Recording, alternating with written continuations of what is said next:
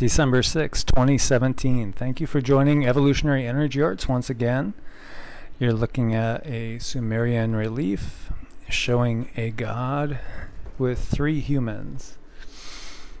And so, this has just been one of my favorite topics forever, and God knows I have spent spent thousands of hours deep into all the biblical text, all the Sumerian texts, all the different mythologies of the world.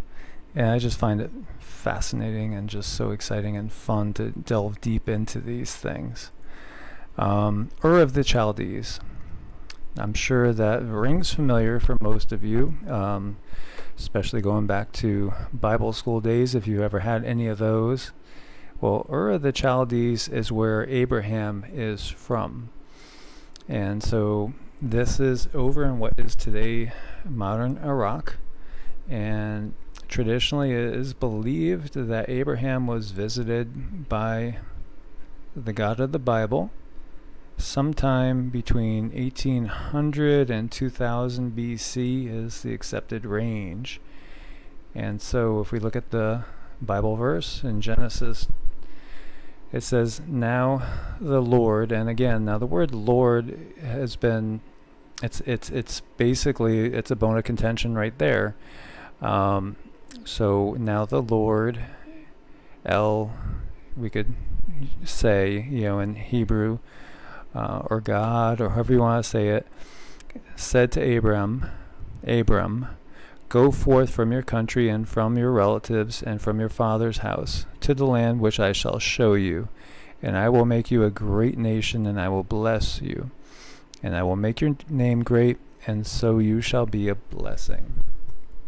So God says to Abram, and this is before he's Abraham and renamed, to leave his homeland of Ur. And uh, Ur again is in um, Sumeria. It's it's in Sumeria, basically modern day Iraq. But even that is still debatable as to the exact location. Uh, they think they know where. Uh, but again, there are some alternatives slightly farther north than what is accepted, uh, traditionally accepted location for it. So God promises Abraham many descendants. And again, uh, anywhere from 1800 to 2100 BC, somewhere in that range is what we are estimating. And the book of Genesis explains that Abram, before he was Abraham, was a faithful man, that he believed in the one true God. Abraham's faith was tested by God. For example, Abraham was asked to leave his country and go to a land that God would show him, which would later become Israel. So he's promised that his people will become abundant, his name will be great, and his lineage will just have a magnificent history and number as many as those of the stars. So all he has to do is just pack up and go. So he goes. And so he leaves Ur and starts heading north. He ends up up in Haran and then comes across into to Canaan and then into Egypt. And uh, as we know, he took a very, very secure, circuitous route, and uh, there's so much to this story uh, that we'll delve into in other videos a little bit more in depth. So, why is he called to leave? Why, why does he leave in the first place? Now, even if you know God didn't really call him, but he just decided to pack up and leave, what was going on? Well, as we know, there was many different gods, many different cultures. Um, this is the uh, Near East, circa 1300 BC, and this is the time of Moses. So at this time frame, you could see the Egyptian Empire here is in, in power. And uh, you have the Hittites very strong, Assyria over here, the Kassite Empire um, took over um, Babylon and Sumeria down down lower and you can see the different cultures. Um, but there have always been wars of the gods, and that's the interesting thing. There has been, as far as our history goes, all these wars by the different gods. And you know, the gods fight with humans by their side in the old days, hand in hand on the same battlefield. And then all of a sudden the gods kind of disappear, but humans are still fighting these wars and have never stopped. So Abraham leads, leaves, and then we jump forward to the time of Moses, trying to find our clues as to who is this God that is calling Abraham and then becomes the God of Moses. And so we have the famous burning bush that was so bright that it terrified Moses. He dropped to his knees, covered his face. He couldn't look upon the sight of the Lord, of, of God. And so, when asked, um, when he asked God, What should I say your name is? I mean, you that are sending me to talk to the people and to bring them these Ten Commandments to follow, and, you know, about the whole trip um, God says something very, very interesting. He says, Ehyeh, Ashur, Ehyeh. So it's been traditionally translated into I am, Ehyeh, I am, Ashur, that I am, Ehyeh. Or it could be I will be what I will be, or simply I am. So God identifies himself here with being itself is the traditional way of looking at it, to be. And then we could look at it as a self-realization thing. I am. I recognize that I am. I am a thinking being. I am self-aware. I am awareness and consciousness itself. And that's one of the things with the Bible and a lot of different holy texts, quote unquote. You could look at them in different ways. You could look at them as simple parables on life, you know, giving you simple truths of how we should live and things like that. You could look into them and find some mystical things uh, that show some hidden knowledge. For sure, there's a ton of numerology in the Bible tons of numerology and there's so many so much allegory and so many things insinuated. And then of course when you start to study uh, Kabbalah and you start to study Hermeticism it gets just so much more involved. And if you've ever looked into a lot of the rituals of groups like the Golden Dawn that merge the Egyptian pantheon with Judeo-Christian traditions and they start to put all these things together and, and you know, how could you merge different traditions? Well, perhaps it's all the same stuff. Perhaps there's just different titles for the same things and beings. So, Ehyeh, Ashur, Ehyeh, I am. Traditionally, that I am. I am that I am. So perplexing, perhaps. It just pointing towards self-realization and realizing you are consciousness itself, perhaps. There's different there's different contributions into the Bible itself um, in different traditions. There's one called the Yahwist and then the Elohist. And uh, the Elohist source traditionally uses Elohim because the Bible is not a single book. It's not written by one person at one time. It's it's a compilation. I mean, traditionally, the Old Testament, the Pentateuch, was written by Moses, and all these other authors that came later wrote the other books. But things have been copied, things have been transcribed, things have been changed. And that's one of the things I didn't realize till I started studying about the Masoretic texts and how they've kind of been doing a revisionism constantly as they go. And part of it is to cover up things, and part of it is to cover up the fact that whereas we think we have a monotheistic religion, we truly don't. It's it's not a monotheistic religion at all. It's it's a religion of putting one deity ahead of others because they believed in many different deities.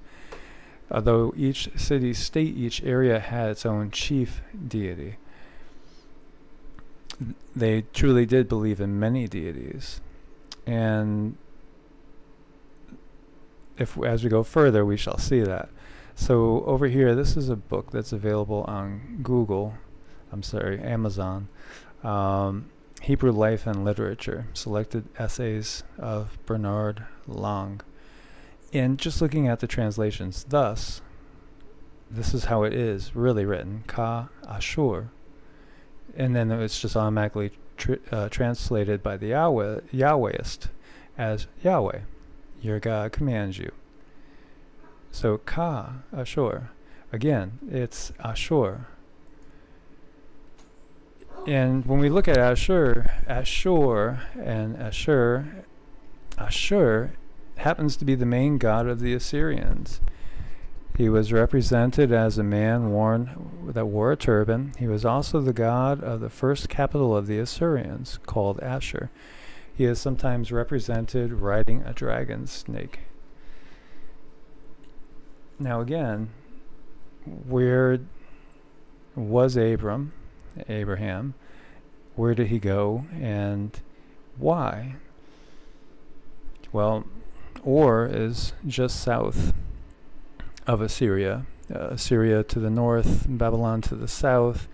However, there are some scholars that think that what we where we think Ur is is actually it was part of the Assyrian territory. So in the ancient Near East, Ashur was originally the main god of the city of Ashur, the capital of Assyria. Assyria emerged as a great empire. Ashur became the national god of all of Assyria. The Assyrians saw him primarily as a warrior god and believed that he supported them against their enemies. By about 1300 BC, Ashur was identified with the supreme Sumerian god Enlil, probably in an effort to portray him as king of the gods. Under Assyria's king Sargon, Ashur became the father of Anu. So Anu is the father of Enlil and, and Ea, Enki, and Ashur became the father of Anu. So he became grandpa. Uh, in a effort to make him out to, to be out the superior one. I am, you know, the product, the one that produces the lineage. I'm not the result. So he is saying, in other words, he is the father of the gods, like we see in Deuteronomy. When we read Deuteronomy 32 8, again, assembly of the gods. Okay, they're calling them gods. I mean, multiple. They were polytheistic. They believed in multiple gods. They chose to, to worship one above all the others. They were polytheistic. And in fact, Abram in Ur, he would have probably followed the moon god at that time. Um, and maybe this is what separated him. Maybe he wasn't following the God of the majority of the people. Or maybe he was on a boundary that was so close to that of his neighbors that he decided to go with the neighbor's God. Or maybe the neighbor's God picked him as the gods have always picked different humans for different purposes. So, Ashur became the father of Anu, the Babylonian god of sky and the main creative force in the universe. Later, as Assyria and Babylon competed for political and military power, Ashur took on the characteristics of the Babylonian national guard Marduk, son of Ea, Enki. And as we know, if you're familiar with any of the Sumerian texts, Enki is the creator of mankind. Enlil, his brother, is the the head god in charge of the earth. Originally, Enki was here on earth before Enlil came, and Enki was Enki, or basically god of the earth. When Enlil came, Enlil basically took over that title, and Ea, Enki, became more the god of the the, the waters and more equated with Poseidon and Neptune. Um, and basically took a step downwards. Now his son was Marduk, and Marduk um, basically ends up killing Tiamat and becomes the national Babylonian god. So he ascends again and challenges Enlil's authority and Enlil's power. And there are so many texts throughout so many traditions talking of the wars of the gods and the wars of Marduk and Enlil. And Marduk took over the area, including Ur. So perhaps that was part of the reason why a follower of Enlil, Ashur, would leave and go elsewhere. And of course, this is my conjecture just from my research. I'm sure everybody will, might have slightly different opinions on this. And I love reading your comments. You guys are awesome. Um, yeah, we could figure all this out together when we put our heads together. Um, but Ashur, again, national god of Syria. In the beginning, he was probably only a local deity, deity of the city that shared his name. From about 1800 BC onwards, however, appears to be strong tendencies to identify him with Enlil, in Akkadian Bel, which also is Baal, Baal, and again, all storm gods. And while under the Assyrian king Sargon, there were tendencies to identify Ashur with Anshar, the father of An, or Anu, in the creation myth. Under Sargon's successor, deliberate and thorough attempts were made to transfer to Ashur the primeval achievements of Marduk, as well as the whole ritual of the New Year's festival of Babylon. So, as a consequence, the image of Ashur seems to lack all real distinctiveness and contains little that is not implied in his position as the city god of a vigorous and warlike society that became the capital of an empire. Warlike society you know, think about that warlike society as we go along and look at the symbols of things. And there's a picture of him with the wings. Again, a man in a flying disc with the wings. This is the victory procession led by the god Asher. So he returns in triumph, hovering above in his flying disc. The gods partake in actual battles and in celebrations, and we find this in the Vedas. In the Vedas, in the Mahabharata, the Ramayana, all the all the Hindu Vedic texts, they all talk about this as well as you know other traditions. Asher in his flying disc, and he's also depicted as a bird. So he's depicted basically as a bird in a flying disc. And you can see that he always has his wings. And so his sign of the eagle passes on to the Roman Empire. So the power that is Rome. So who was the chief Roman deity? Jupiter. And, and of course in the Greeks we have Zeus. And when we look at the symbols, Zeus in the ancient Greek religion, chief deity of the pantheon, sky and weather god, who is identical with the Roman god Jupiter. His name clearly comes from that of the sky god Dyaus of the ancient Hindu Rig Veda. Zeus was regarded as a send sender of thunder and lightning, rain, and winds, and the traditional weapon was his thunderbolt. He was called the father of both gods and men. Enlil, god of the atmosphere, member of the triad of gods completed by Anu and Ea. Enlil meant Lord Wind. Both the hurricane and gentle winds of spring were thought of as the breath issuing from his mouth and eventually his word or command. He was called the Lord of the Air. Although An was the highest god in the Sumerian pantheon, Enlil had a more important role as the embodiment of energy, force, and authority and this cult center was in Nippur. Now, what country has the symbol of the eagle now? Obviously, the United States.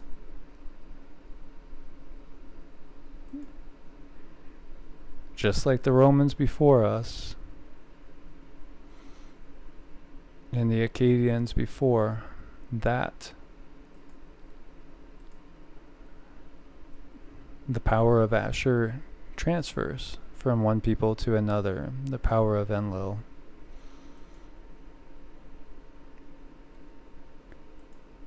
So, and this is also very similar to Indra, even though they were speaking about a different Hindu god. When you really look at Indra, you know, it's exactly the same. You know, just exactly. He's the god of the thunderbolt, great warrior, conquers the anti-gods. He also defeats innumerable human and superhuman enemies, most famously the dragon Vritra. Um, so,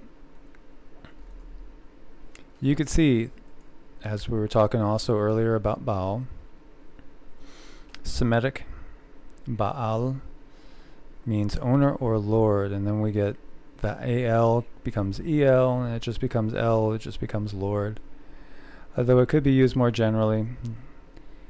Basically, Baal again, Lord of Rain and Dew, Storm God, same thing again. He who rides on the clouds. In Phoenician, he was called Baal Shaman, Lord of the Heavens. Again, the same deities. And here again, we take a quick peek at Assyria. And talking about timing, because this talks about Marduk, and uh, it's Wikipedia. The only serious rival to Marduk after 1750 BC was the god Ashur, who had been the supreme deity in the northern state of Assyria since the 25th century BC which was the dominant power in the region between the 14th to the 7th century BC. In the south, Marduk reigned supreme. So Marduk reigned supreme, and that is the timing pretty much of uh, Abram leaving. As Marduk rose to power, Abram leaves and goes off, called by Asher to found a new country, a new people, a new line of power to go through. So, I hope you guys found this interesting, and I really can't wait to hear all the comments on this one. But that's basically where I am at. Um, and you're talking or you're listening to somebody that was brought up Catholic and then ended up going on his own to um, um, Baptist churches, mostly through my youth uh, a Pentecostal church, uh, laying on hands and all that in my like around 20, 21. Uh, Bible studies all the time until I studied to the point where I just couldn't believe it anymore. The you know I got so deep into it. I'd have 10 different Bibles out comparing all different verses in different forms. This is before we could just go on the internet and Google it and see every sort of translation you want to see. Came to the conclusion that it's not what it seems, it's not what we're being sold. And um, especially the Old Testament, um, I think you know there's there's uh, there's such a stark difference between the Old Testament and the New Testament, completely different. And then when we read the Nag Hammadi texts that we found, and we bring in some of the books from the Dead Sea Scrolls and get a more complete picture and understand the Gnostic writings. Uh, it, it, all gets much, much more clear. And then, of course, the you know cherry on top of the cake is the the Sumerian readings because uh, everything that we've learned from these Sumerian texts, of which there's hundreds of thousands now, it dwarfs you know what we have in the Bible. The Bible just gives you tiny little excerpts, and you could find the whole stories in the Sumerian uh, writings. And when you look deep and close, you'll you'll start to see a different picture. And I was obsessed with this. I, I read the Bible from cover to cover at age 11 for the first time. And then I've actually copied the Bible by hand, going that deeply in, studying things, just different books, especially Ezekiel and you know a lot of the prophetic books. I was all caught up in in prophecy and looking very very deeply into them.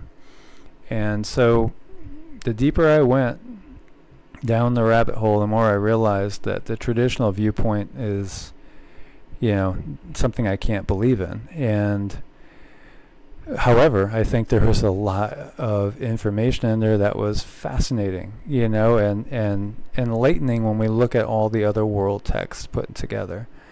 And when we start to study all the different traditions, you know, we, we study the Hindu traditions and we look deep into Buddhism and, and Taoism and every different, you know, religion that's out there. Um, better than 55% of the world comes out of the Abrahamic religions. Most of the world's populations follows these Abrahamic religions.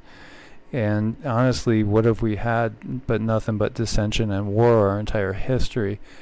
And I'm not going to blame it all on the Abrahamic religions, but it feels like it comes down from the gods. You know, children learn from their parents. And uh, it certainly seems that the wars of the gods are never ending. And uh, it's something to think about. So I look forward to your comments. If you found it interesting, give it a thumbs up. If you haven't subscribed yet, please do subscribe and join our growing family and share with as many people as possible so we can wake people up and get people doing research for themselves. Do not believe what you were taught by your parents, by your school teachers, by your ministers. Don't believe anybody. Go out and research it for yourself. Go look things up for yourself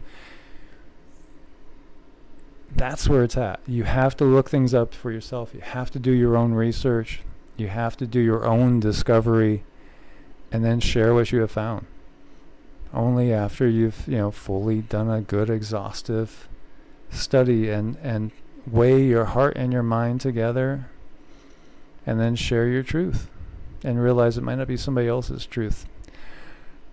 But hopefully, we will raise up the energy of the world together and open up eyes so we could stop our negative cycle of nonstop wars that we've learned from these quote unquote gods.